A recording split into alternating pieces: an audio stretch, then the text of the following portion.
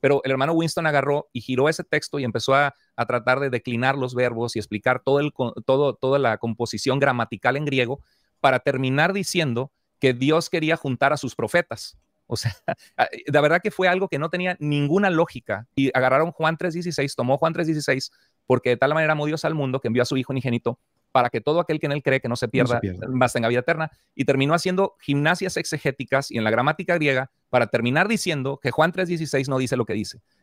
Pero si tengo que humillarme a que tengo que forzar menos la Biblia si me vuelvo ortodoxo, católico, ortodoxo griego, a quedarme en el, calvinismo o quedarme como bautista o quedarme con esto, siempre voy a terminar torciendo algún texto de la Biblia.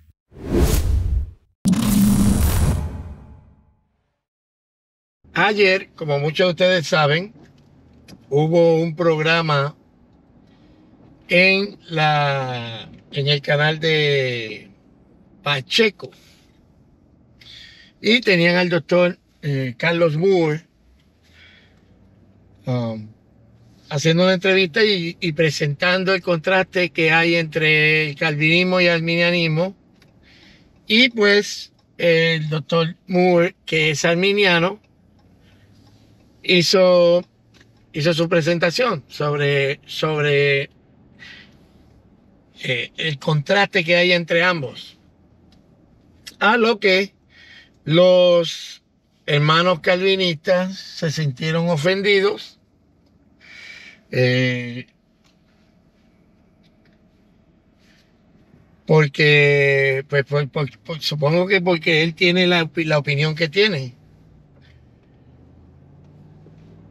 Y en realidad fue porque mencionaron a este señor Medina dentro de eso, porque empezaron a tirarle hate, como es de costumbre dentro de todos estos chats, de un lado y para el otro. No vamos a, eso no, tiene, no tiene importancia en lo que yo quiero hablar hoy. El, el caso es que salió ofendido Medina, salió para allá ofendido, no, que me están ofendiendo porque me dijeron que yo torcí el texto. Y bueno, y del texto que están hablando es del texto de Mateo capítulo 23, verso 37. Lo que tiene que ver con Muri y todas esas cosas, eso averígüelo usted de otra manera, porque yo, yo lo que quiero entrar lo que quiero entrar. Mateo 23, 37. El, el famoso lamento de Jesucristo este, ante la ciudad de Jerusalén. Jerusalén, Jerusalén, tú que matas a los profetas y que apedreas a aquellos que te son enviados. ¿Cuántas veces quise yo juntaros como la gallina junta sus polluelos bajo sus alas? Pero ustedes no quisieron, pero no quisisteis. Y yo había visto hace ya un tiempo, bastante tiempo, un análisis que había hecho Medina sobre ese texto y él llega a unas conclusiones que de verdad que ciertamente hay que torcer el, el texto para llegar a esas conclusiones. Pero más allá de que pues, estamos tratando con una persona que admite torcer el texto para llegar a, su, a sus conclusiones, eh, más allá de eso, si usted lee el texto, si usted lee ese verso bíblico, usted sabe la idea que se va a llevar. Cuando usted lee, cuando usted lee el verso, no se requiere ser un doctor en teología, no se requiere ser un experto en nada, usted léalo. Y con leerlo ya usted tiene la idea. Estamos viendo a Jesús que está a punto de entrar a Jerusalén, está entrando a Jerusalén. Esa es la última vez que va a a Jerusalén porque de ahí en adelante es que se desenvuelve toda la, toda la, historia esta de la pasión y la muerte de Cristo. Y cuando va entrando, eh, él hace este, este, está llorando por Jerusalén. Y lo que le está diciendo es Jerusalén, Jerusalén. ¿A quién le está hablando? ¿Quién es Jerusalén?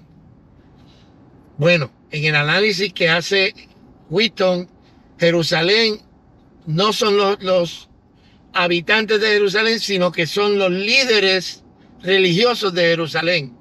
Que de hecho, ese es un argumento que se lo escuché hace años a James White, que fue malo cuando lo dijo James White en aquel tiempo y es malo también hoy.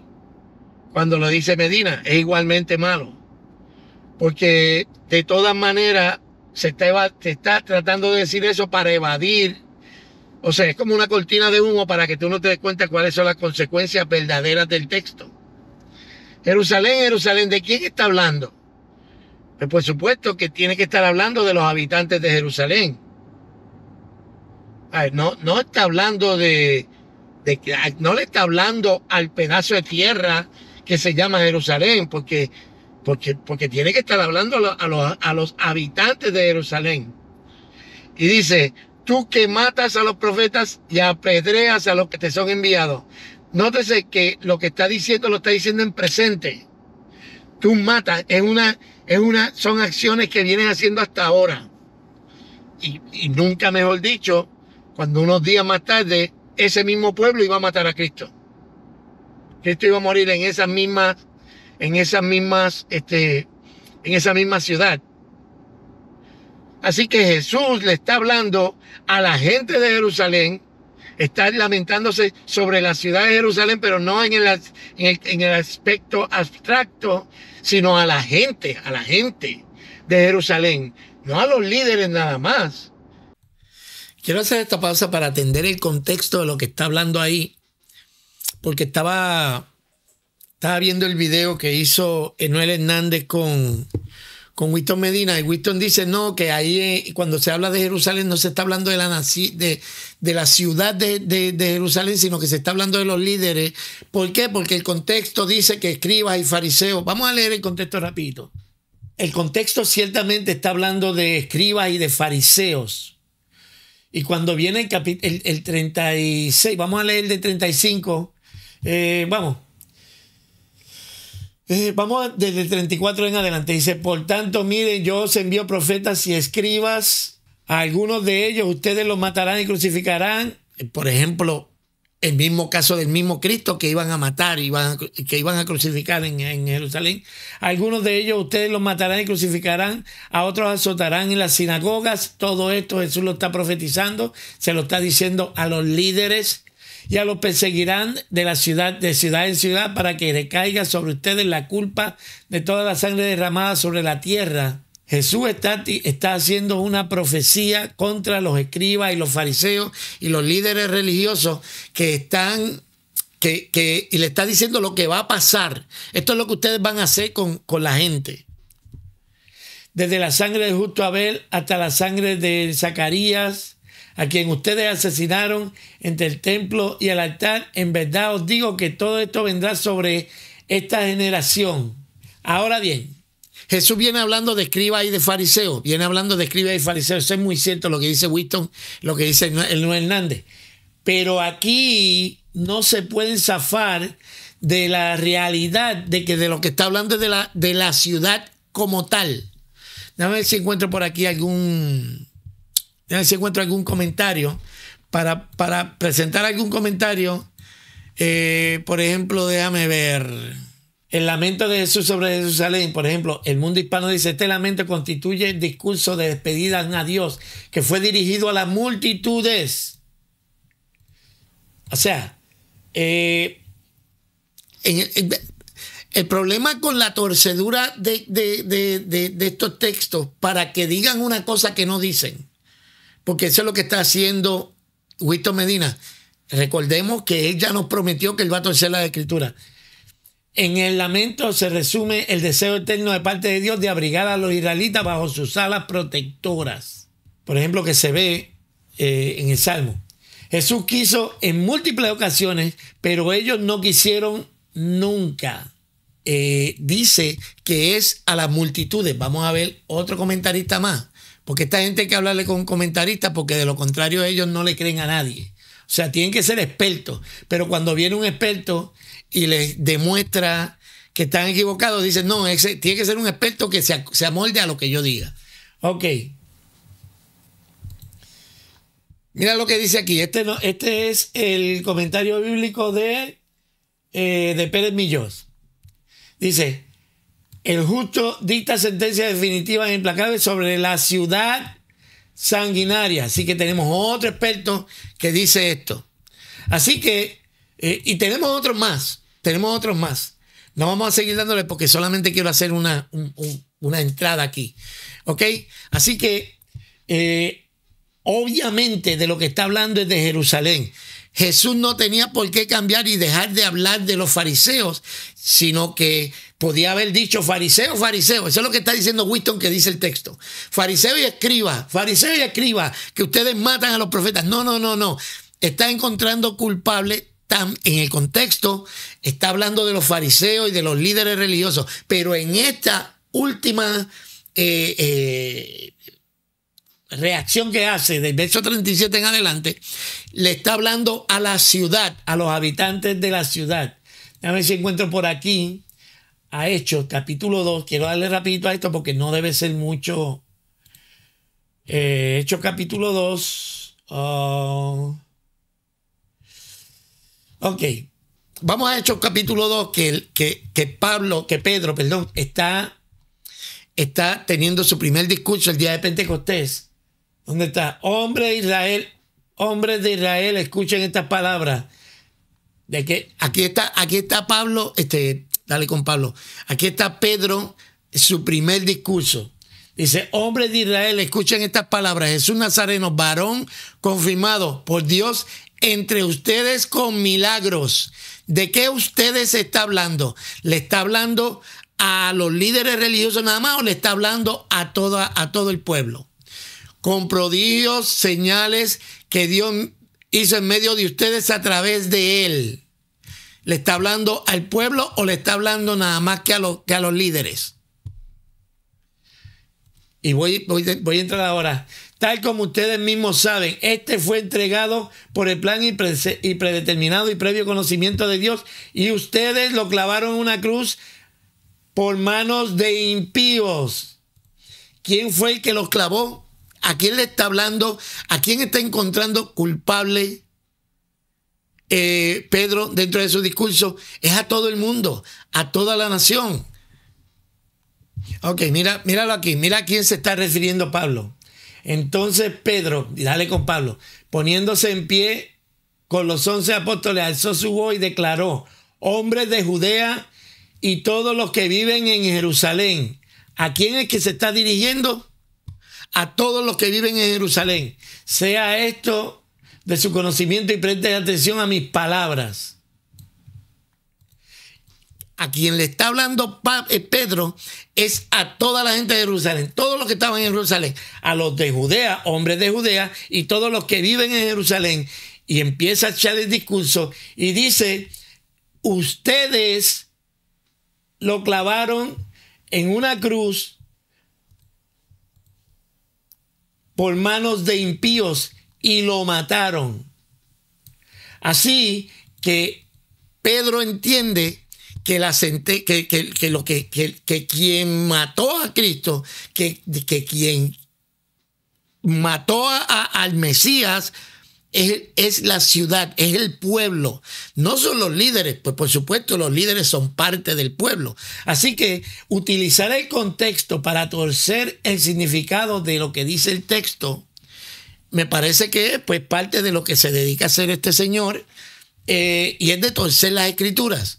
El contexto, el contexto no quiere decir que ahora no está hablándole a Jerusalén por supuesto, le está hablando a los fariseos, constantemente le está hablando a los fariseos, pero Cristo saca tu atención de los fariseos y le habla a la ciudad.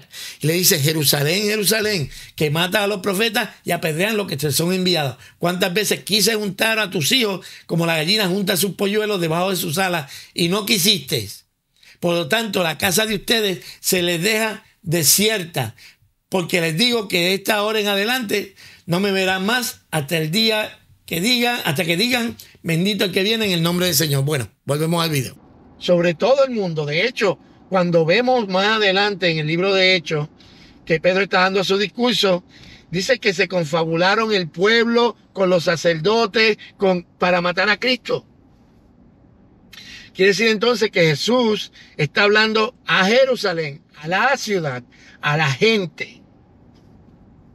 Si yo escribiera una carta a mi patria, yo le escribiría Puerto Rico, tierra mía, la de las verdes praderas, la de la, inmensa bahía, como dice el, el poeta. Y cuando uno habla sobre un país, en realidad tú no estás hablando sobre el país, tú estás hablando sobre la gente. Así que ahí empiezan las primeras torceduras de texto para que el texto no diga lo que, lo que el texto dice. Jerusalén, Jerusalén, tú que matas a los profetas y apedreas a aquellos que te son enviados. Note que la acción está en presente, o sea, todavía lo haces. Lo has hecho en el pasado y todavía lo haces. Tú que matas a los profetas y apedreas a los que te son enviados. ¿Cuántas veces quise? Note que no es que lo hiciste en el pasado y lo estás haciendo en el presente, sino que continuamente Dios ha querido algo. Constantemente, por lo menos más de dos veces, Dios ha querido hacerlo, porque dice, ¿cuántas veces? Recuerden, estoy haciendo una lectura completamente natural del texto. Aquí no estamos buscándole la quinta pata al gato. ¿Cuántas veces quise juntaros? Como la gallina junta su polluelo. O sea, Dios constantemente estuvo tratando de que eso, se, de que eso ocurriera. ¿Cuántas veces quise juntar a tus hijos? En este caso, los hijos, ¿quiénes son? Si no son los mismos habitantes de, de Jerusalén. Si le está hablando a Jerusalén, que quiere decir que le está hablando a los habitantes de Jerusalén, y dice, ¿cuántas veces quise juntar a tus hijos como la gallina junta a sus polluelos? Quiere decir entonces que esos hijos son la misma Jerusalén sobre quien Dios está haciendo esa lamentación. ¿Cuántas veces quise juntar a tus hijos como la gallina junta, a sus polluelos y vosotros no quisisteis? Y ustedes no quisieron. ¿Quiénes fueron los que no quisieron? Los mismos hijos. Los mismos hijos que es la misma ciudad de Jerusalén. Podríamos parafrasearlo y decir, Jerusalén, Jerusalén, hablándole a la gente. ¿Cuántas, ustedes que son los que matan a los profetas, ustedes son los que apedrean a los que son enviados? ¿Cuántas veces yo quise juntarlos a ustedes? Podríamos decir eso, porque está hablando de Jerusalén. Los hijos de Jerusalén son la misma Jerusalén de la que está hablando al principio. Porque no puede ser que le esté hablando al pedazo de tierra que se llama Jerusalén. Está hablándole a la gente. ¿Cuántas veces yo quise juntaros a ustedes? Se podría decir de esta manera. ¿Cuántas veces yo los quise juntar a ustedes? Como la gallina junta a su polluelo.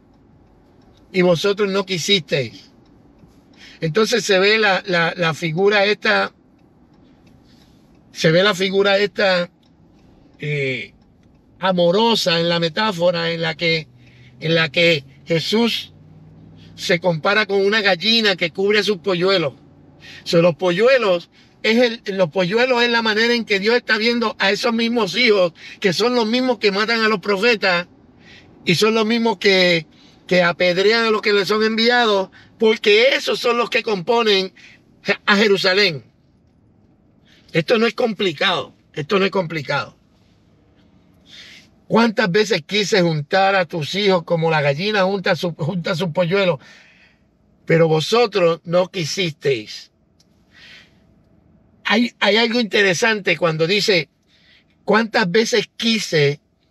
Es como que quise yo quise hacerlo, muchas veces quise hacerlo, pero yo no lo logré. Yo quise que algo pasara, pero no lo logré. No logré lo que quise. ¿Qué fue lo que quise? Juntar a tus hijos, Jerusalén, como la gallina junta a sus polluelos, para darle protección, porque más adelante dice, por cuanto, por cuanto yo no pude lograr lo que quise, porque ustedes no quisieron, entonces ahora la casa será desolada. ¿Por qué la casa es desolada? Porque no quisieron los hijos de Jerusalén que Dios los, los cubriera como la gallina cubre a sus polluelos. ¿Ok? No hay complicación en esto. ¿Cuál es la idea que trae Winston Medina. Winston Medina dice, no, Dios, Jesús le está hablando a los líderes religiosos y son los líderes religiosos los que no permitieron que los hijos se acercasen o algo así.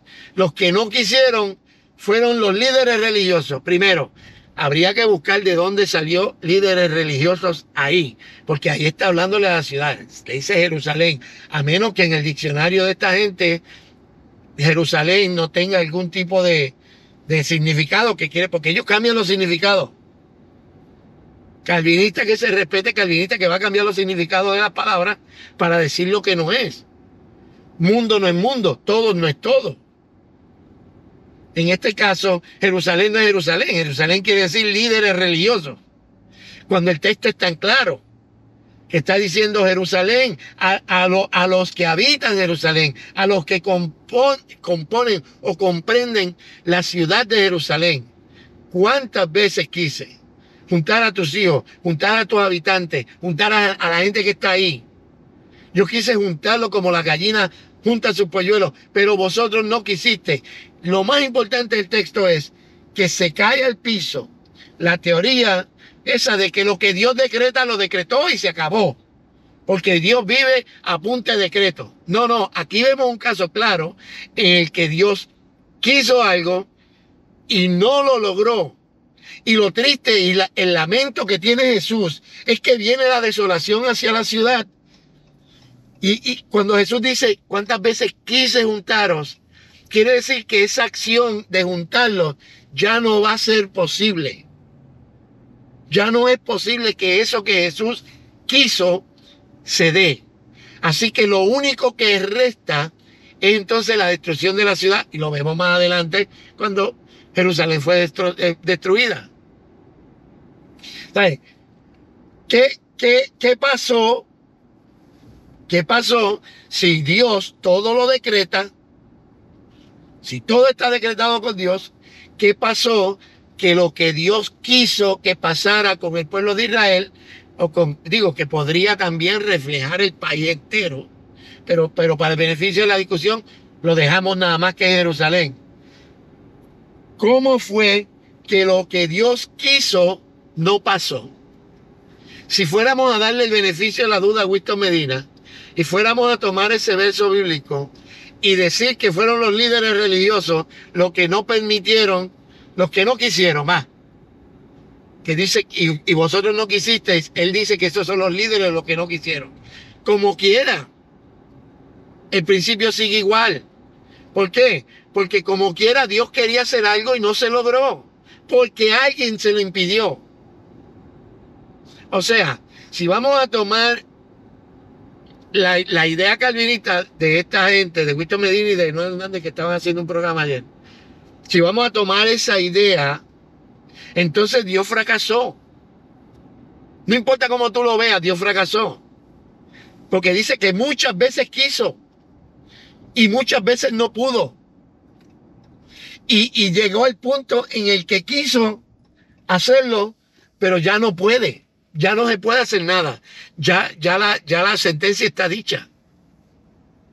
Así que, para que ustedes vean cómo se complican las cosas en el calvinismo con tal de hacer ver a Dios como ese Dios eh, que está, o sea, todo el punto de esto es para meterle a la gente por ojos, boca y nariz, meterle a la gente de que la gracia no se puede resistir de que cuando Dios quiere hacer algo, Dios lo hace eh, y que Dios no cuenta con las acciones de los hombres.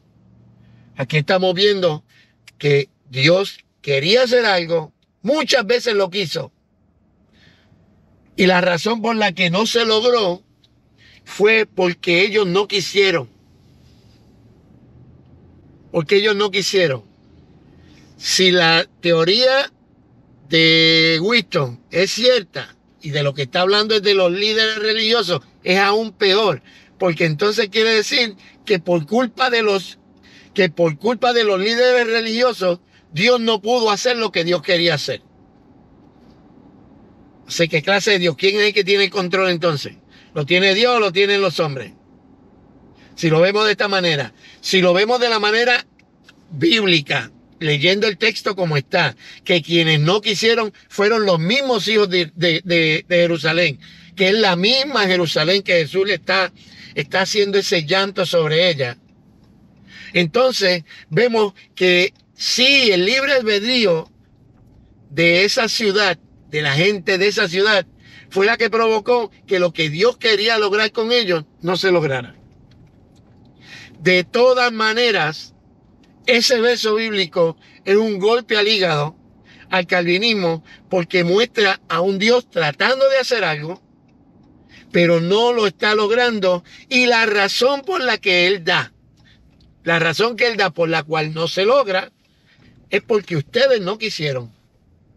Dice, ¿cuántas veces quise juntaros como la gallina junta su polluelo? Pero ustedes no quisieron. Y concluyo con esto, que ya llegué.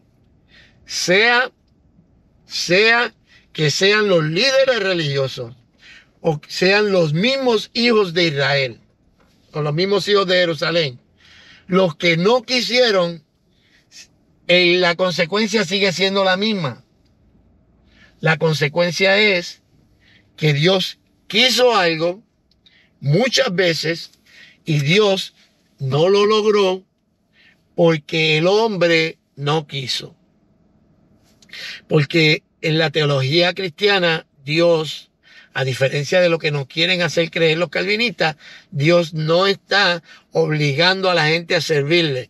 Cada quien va a correr con las consecuencias de sus acciones, pero Dios quiere seres libres.